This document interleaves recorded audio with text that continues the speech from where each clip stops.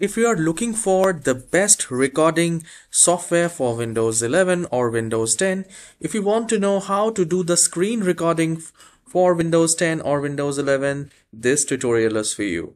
I'll tell you one of the best and free screen recorder for your PC so that you can do the screen recording of PC. Alright, so you need to click on the start icon and look for Microsoft Store. You can search here and you can look for the Microsoft Store.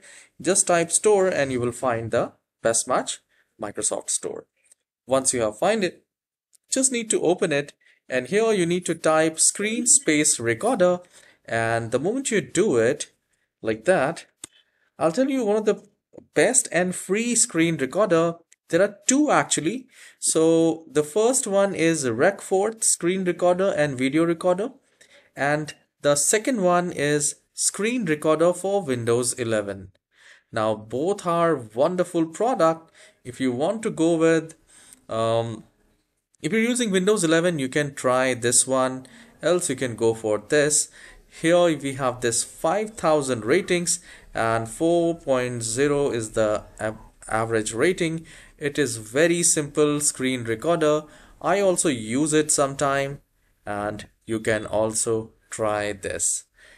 The uh, the Recforth is is a wonderful software too. It has 4.4 average rating and it is also very easy to use. You can do the whole screen recording.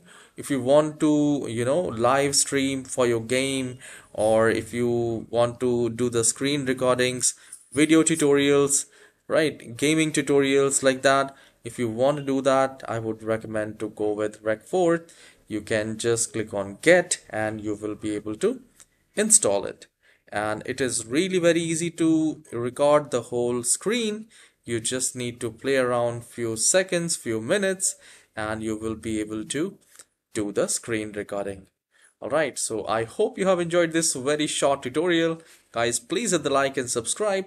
I'll see you in the next video. Have a wonderful day